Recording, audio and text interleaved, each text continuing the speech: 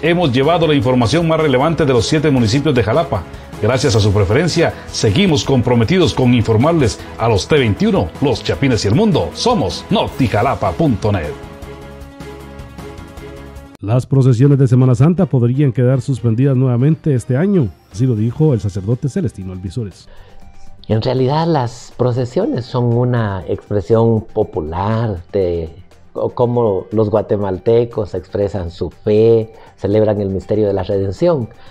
Em, eh, la Semana Santa tiene una cantidad mucho más grande de expresiones, ¿verdad? O sea, pudiera yo decir de que las circunstancias de la pandemia em, están haciendo que nos limitemos en las procesiones.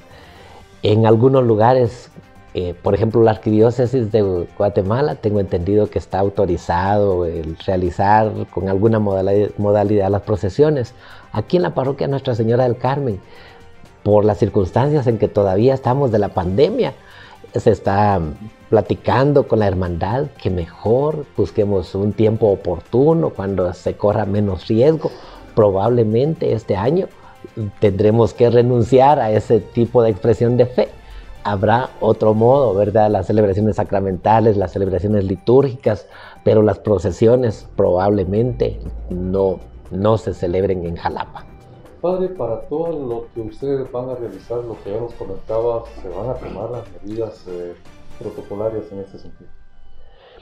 Este, sí, eh, lo que nos queda es, eh, diríamos, no olvidarnos de nuestra fe, no olvidarnos de, nuestra, de la totalidad de la persona.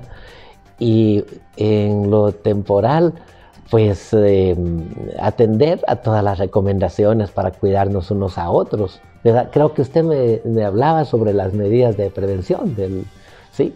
Entonces, em, pues, pues las procesiones sería muy difícil buscar el distanciamiento, por eso creo que no van a ser este, este año no las vamos a tener en esta, en esta cuaresma y Semana Santa.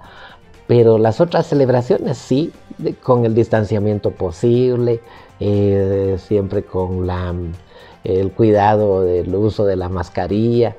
Quizá lo que más recomendaríamos en este momento a la gente sería que se vacune. ¿Verdad? Vacunarnos es una manera responsable de ayudarnos unos a otros. Creo que es una de las grandes medidas el que busquemos la manera de para los T21, los Chapines y el mundo, notijalapa.net.